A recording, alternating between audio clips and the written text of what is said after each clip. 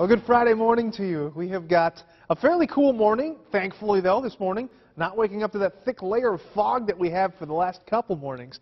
But it is chilly out there. 39 degrees right now is what we sit at. Current temperatures off to the north a little bit cooler. Mid-30s there, Clarion as well as Waterloo. Uh, still seeing low 40s off to the south. Lamoni at 40, 41 at Council, in Council Bluffs. Uh, we've gotten rid of the clouds for the most part.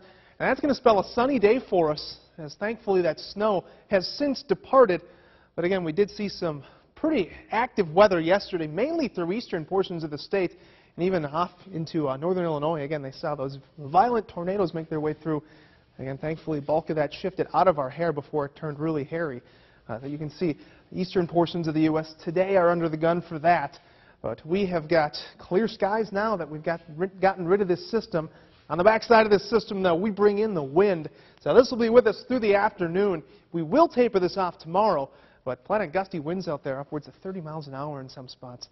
But we'll keep the sunshine and we'll keep decently warm temperatures. Just wish the wind would cooperate and not beat those down by way of our wind chill. Uh, this eventually shifts to the east. As it does so, this area of high pressure shifts off to our south. So that's going to move in winds out of the south and out of the southwest. It'll help to buoy our temperatures back up into the low 70s for your Saturday. We get sunshine to go along with it, a welcome relief from the snow. Know that even if, even if there's a little bit on the ground, it's not going to last. And again, as we've got the sunshine all day long today. We bring it in tomorrow. And our next shot at rain makes its way in on Sunday. So enjoy the sun that we've got out there today and enjoy the warmth if you're off to the south. We all have the wind, though, so that chill factor will be with us.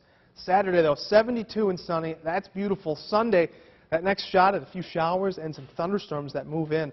But even though we bring in the rain and the thunderstorms, next week looking beautiful. Temperatures at least starting off in the low 70s with sunshine. All right, sounds good. Thanks so much, Jason.